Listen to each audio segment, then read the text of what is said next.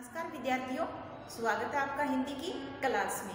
तो आज हम हिंदी में जो हमारा पाठ संख्या नौ चल रहा है, गरम अंगूर, उसका हमारा जो कहानी वाला पोर्शन था, वो हमारा कंप्लीट हो चुका। आज हम उसका जो व्याकरण का जो पार्ट है, उसको कंप्लीट करेंगे। व्याकरण के पार्ट में आज हमारा टॉपिक है अशुद्धि शोधन। अशुद्धि शोधन। टॉपिक का नाम क्या है? अशुद्धि अशुद्धि शोधन अशुद्धि शोधन तो कोई मेरे को बता सकता है, अशुद्धि शोधन का मतलब क्या होता है? यानी जो हम भाषा, यानी हिंदी जो भाषा है, उसमें कोई कई शब्द ऐसे हैं जिनका हम अशुद्ध बोलते हैं, जिनको हम शुद्ध बोलते हैं, अशुद्ध लिखते हैं। तो उनके बारे में चर्चा करेंगे। जो शब्द हम गलत बोलते हैं, गलत लिखते हैं तो उन पे बात करेंगे। तो अशुद्धि शोधन दो तरह के होती है। दो प्रकार की इसकी दो प्रकार मानी जा सकती हैं। पहला तो होता है शब्द, अशुद्ध शब्द। अशुद्ध शब्द। और दूसरी बात करेंगे हम, अशुद्ध। अशुद्ध वाक्यों। अशुद्ध वाक्य और अशुद्ध शब्द। यानी कुछ शब्द ऐसे होते हैं जिनको हम अशुद्ध बोलते हैं और अशुद्धि उनका उच्चारण करते हैं और अशुद्धि उनको लिखते हैं। और कुछ वाक्य ऐसे होते हैं जिनको हम अशुद्ध लिख देते हैं और अशुद्धि उनका उच्चारण करते हैं। उच्चारण का मतलब बोलना। उच्चारण का मतलब बोलना और वर्तनी यानी लिखना। तो भाषा का जो मेन रूप होता है वो हमारा लिखित ही रूप होता है। तो लिखते समय हमें कई बार कई अपने आम बोलचाल में ऐसे कर भी देते हैं, लेकिन अगर हम हिंदी में हिंदी में अगर लिखने की गलती करेंगे, वर्तनी यानी लिखने का जो काम है, वो अगर हम अशुद्ध करेंगे तो वो बहुत गलत हो जाता है। यहाँ ये बात अलग है कि कुछ लोग बोलते समय थोड़ा बहुत इधर उधर हो जाए तो कोई बात नहीं है, लेकिन लिखते समय हमें पूरा ध्यान रखना चाहिए कि हमने क्या शब्द लिखना था, क्या हम बोल रहे हैं? एक हिंदी भाषा ही ऐसी है, जैसा बोला जाता है, वैसा ही उसमें लिखा जाता है। यानी जैसा हम बोल रहे हैं, वैसा का वैसा सेम लिखा जाता है। सिर्फ़ एक हिंदी भाषा ही ऐसी है, जिसको सेम लिखा जाता है। जैसा हम बोल रहे हैं, जैसा उच्चारण कर रही है, वैसा ही उसकी, वैसी उसकी वर्तनी होती है, यानी लिखने की। तो इसमें सबसे पहले तो हम हिंदी में बात करेंगे वर्णों की। तो वर्ण होते हैं, वर्ण के बारे में आप जानते हो ना? यानी कि जो वर्ण होते हैं, जैसे कि स्वर व्यंजन। स्वर और जो व्यंजन होते हैं, उन्हें क्या बोलते हैं? वर्ण वर्ण और वर्णमाला बोलते हैं। स्वर तो आपको पता है, ए, आ, ई ई, ये वाले जो क्या होते हैं? स्वर होते हैं। और जैसे क, ख, ग घ ये वाले क्या होते हैं? हमारे व्यंजन। तो ये वाला टॉपिक हमने, वर्णमाला वाला जो टॉपिक है, वर्णमाला, वो हमने कंप्लीट कर लिया था। पीछे मैंने इसकी वीडियो भी करवाई, वीडियो में बताया भी था आपको अच्छे से। समझाया भी था। तो वर्णमाला के बारे में आप जानते हो, स्वर व्यंजन आप अच्छे से जानते हो तो उनको जो जब हम बोलते हैं तो बोलते समय और लिखते समय उनका हमें विशेष ध्यान रखना पड़ता है। सबसे पहले हम बात करेंगे शब्दों की। तो यानी कुछ शब्द ऐसे होते हैं, जो बोलने में तो वैसे ही लगते हैं और लिखने में भी उनको ध्यान रखना पड़ता है। यानी मात्राओं का ध्यान रखना पड़ता है। कई बार जैसे मान लीजिए कई कई लोग बोलते हैं ना जैसे मान लो हमें बात करते हैं, अपने स्टडी की बात कर हैं तो स्कूल की बात कर लेते हैं। कई लोग ऐसे बोलते हैं स्कूल स्कूल क्या बोलती है? स्कूल मैं काम जा रहा हूँ? स्कूल जा रहा हूँ। स्कूल स्कूल नहीं बोला जाता। इसे क्या बोलता है? बोला जाता है स्कूल स्कूल यानी ये हमने लिखते समय भी ध्यान रखना है। तो ये जो हमने स्कूल लिखा है, ये हमारा बिल्कुल गलत है। ये जो स्कूल लिखा है, ये हमारा सही है, इसलिए स्वयं हमारा आधा आएगा। तो आपको ये लिखते समय भी ध्यान रखना है और बोलते समय भी ध्यान रखना है। जैसे कि आपने एक मेन शब्द और देखा होगा, जो मेडिकल वगैरह है उन पे लिखा होता है ना, दवाइया दवाइया। और एक होता है दवाइया। तो अब आप देखिए, इनमें से कौन सा शुद्ध है और कौन सा अशुद्ध है। कौन सा शब्द शुद्ध है और कौन सा अशुद्ध है? ये क्या है? दवाइया। दवाइया। इसको क्या बोला जाएगा? दवाइया। और ये क्या है? दवाइया। तो कौन सा शब्द शुद्ध है? ये हमारा शुद्ध है, ये हमारा अशुद्ध शब्द है। ये जो लिखा होता है ना जगह लिखा होता है, ये गलत लिखा होता है। तो ये शुद्ध शब्द हमारा, ये है दवाइयाँ। ठीक है? तो जैसे कि मैं आपको कुछ और शब्द बताती हूँ, जैसे आपकी बुक के अंदर दी हुई है, जैसे हमने लिखा प्रभु। प्रभु प्रभु। और क्या होता है? प्रभु। तो अब ये देखिए, ये एक तो ये प्रभु है और ये प्रभु। प्रभु और ये प्रभु। तो क्या होता है? प्रभु। प्रभु नहीं होता। क्या होता है? प्रभु होता है। प्रभु।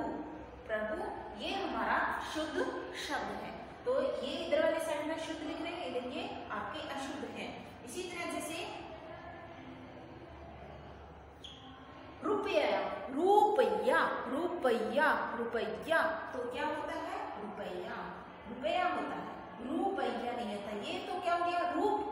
रूप या रुपया रुपया इसी क्या बोला जाता है? रुपया ठीक है? ये अंतर होता है। जैसे, इसी तरीके से जैसे हमने शब्द लिखा, बीमारी। और ये होता है बीमारी।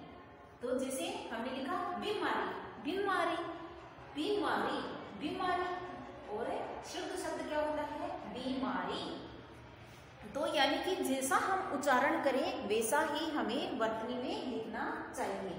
तो बीमारी को कैसे लिखा जाता है? इस तरीके से। कुछ शब्द ऐसे होते हैं जिनको हम जब हम लिखते हैं तो हमें लिखते समय ही पता चल जाता है कि ये गलत लिखा जा रहा है। अब ये देखिए, ये क्या लिखा हुआ है? बीमारी बीमारी बीमारी। तो ये क्या होता है? बीमारी। अब इसको देखने से ही ऐसे अटपटा सा लगता है ना?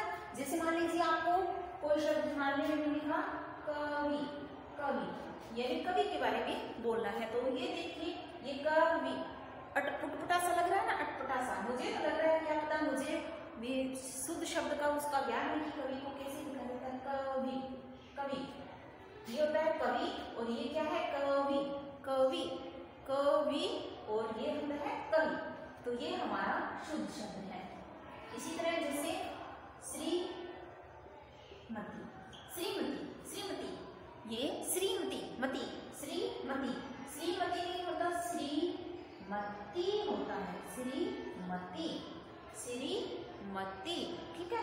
मत्ती यानी जिसपे दबा, जो मतलब ये जैसे बड़ी मात्रा होती है ना, उसमें थोड़ा सा अंतर होता है, उसको ज़्यादा लगता है उसके पे यानी जीप में ऐसे दबाव पड़ता है जब हम बड़ी मात्रा बोलते हैं, चाहे वो छोटे ए, बड़े ओ, ए की हो, बड़े ओ की हो, या फिर बड़े ऊ की हो, कोई सी भी मात्रा हम बड़ी मात्रा बोल रहे हैं तो उसमें थोड़ा सा जीप पे हमारे दबाव पड़ेगा, उसको बोलते समय हमारी जीवा थोड़ी सी दबाव में आएगी।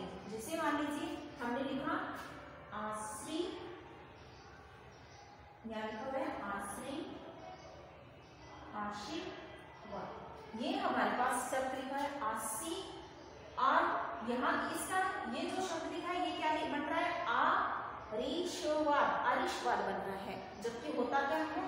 आशीर्वाद आशीर्वाद आशीर्वाद। यानी ये जो रै है, वो अगर हम यहाँ लगाएँगे तो क्या बोला जाएगा? ये रे पहले बोला जाएगा।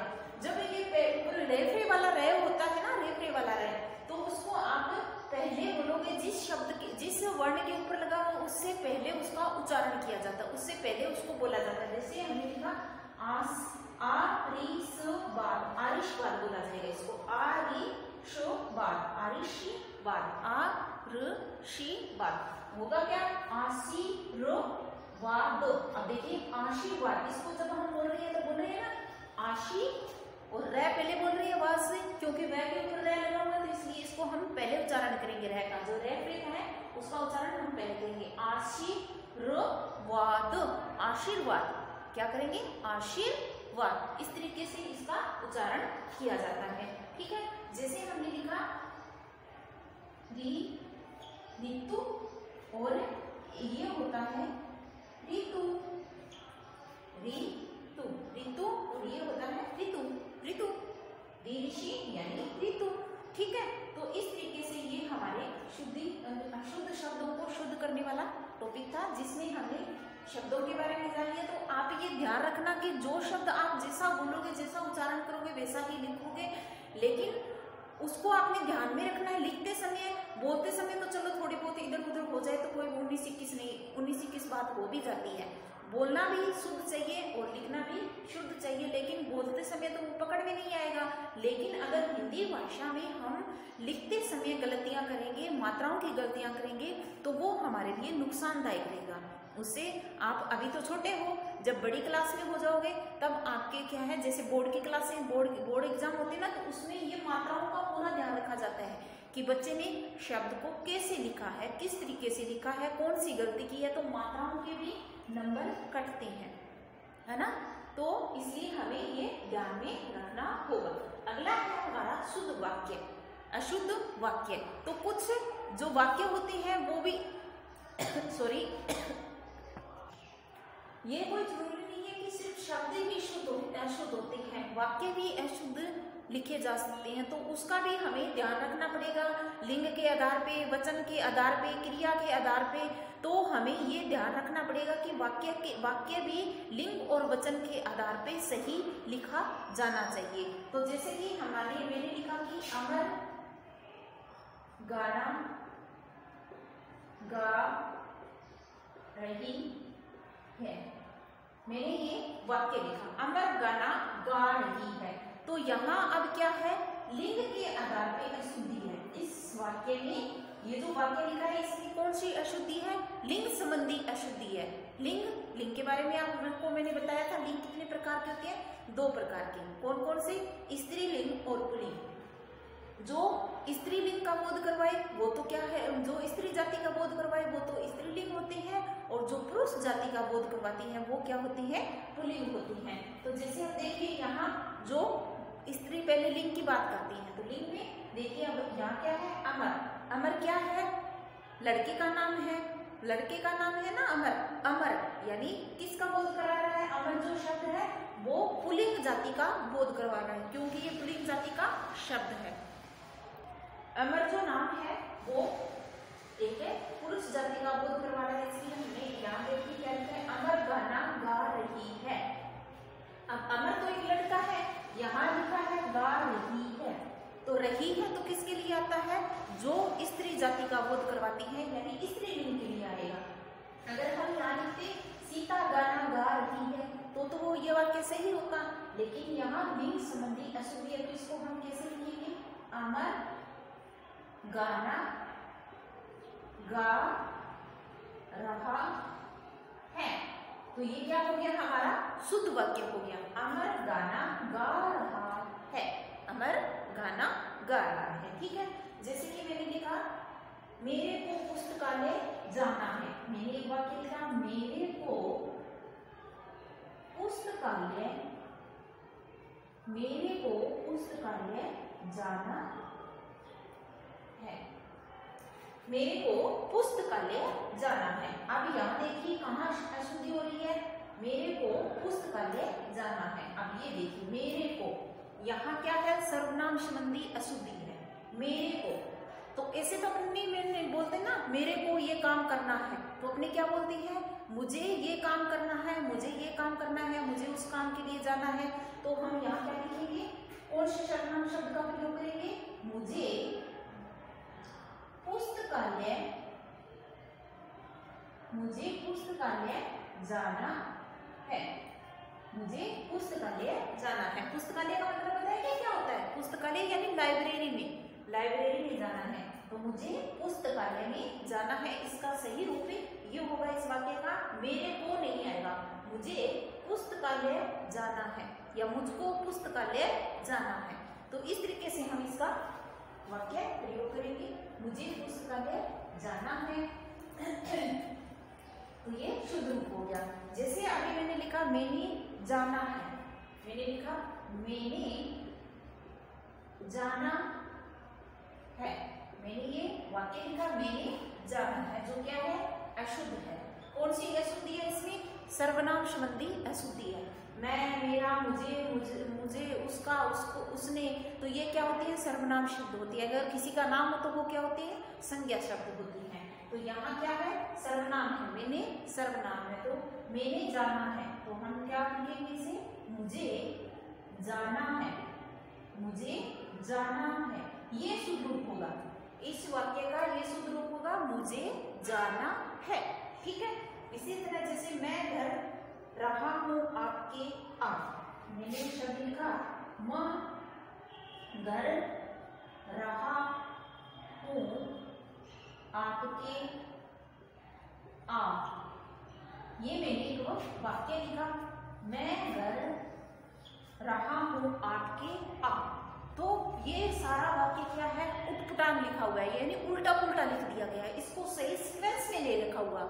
यानी इसको क्या है? स्थान के अकॉर्डिंग इसमें गलतियाँ हैं तो इसमें हम क्या लिखेंगे? मैं आपके घर आ रहा हूँ। इस तरीके से लिखेंगे मैं आपके घर आ रहा हूँ। स्थान परिवर्तन करना पड़ेगा। शब्दों का क्या है? जो शब्द लिखे हुए हैं, उनका स्थान परिवर्तन करेंगे, तभी ये वाक्य सही लिखा जाएगा। अब देखिए, ये जो हम वाक्य बोलेंगे, मैं घर रहा हूँ आपके आ और मैं आपके घर आ रहा हूँ तो कौन सा कौन सा वाक्य सुंदर लग रहा है? ये वाक्य बोलने में कितना अच्छा लग रहा है कि मैं आपके घर आ रहा हूँ, या फिर ये बोलेंगे कि मैं घर रहा हूँ आपके आ तो इसमें कंफ्यूजन सा लग रहा है, कुछ भी समझ में नहीं आ रहा। है ठीक है? जैसे कि एक वाक्य और लिख देती हूँ मैं, कृपया करके अंदर आ जाइए। या फिर नुपुर को जाना है जल्दी। मैंने लिखा, मैंने एक वाक्य लिखा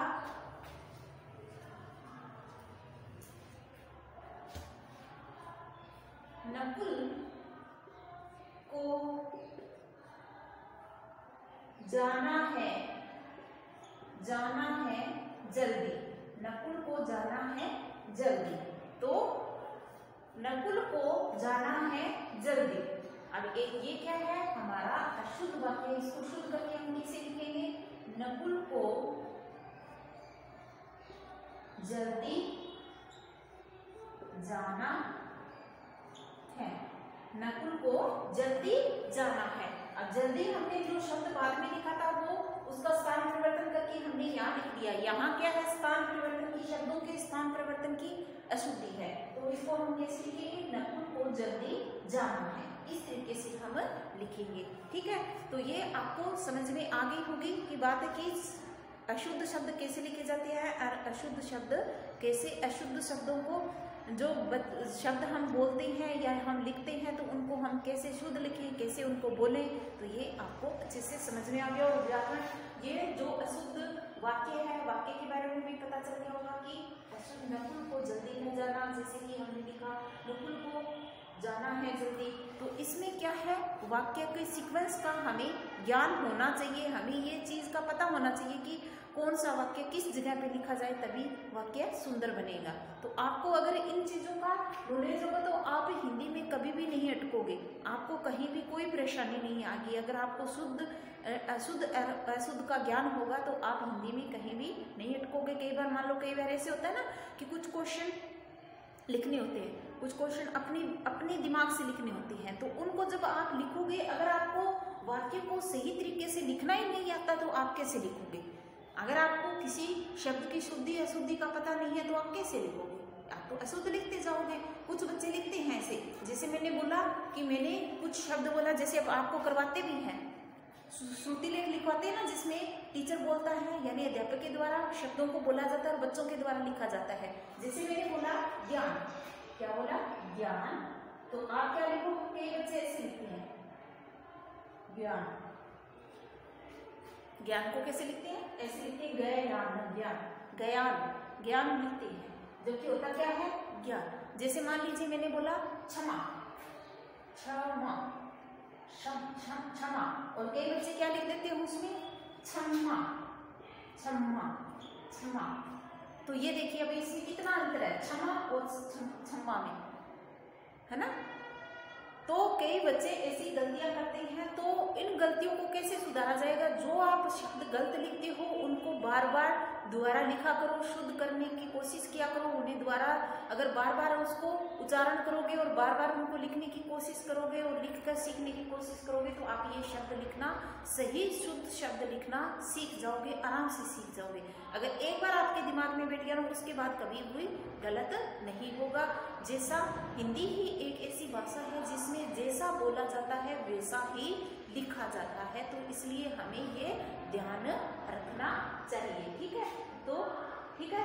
तो ये था हमारा टॉपिक अशुद्धि शोधन। तो अगले वीडियो में फिर मिलेंगे, तब तक के लिए जय हिंद, जय भारत।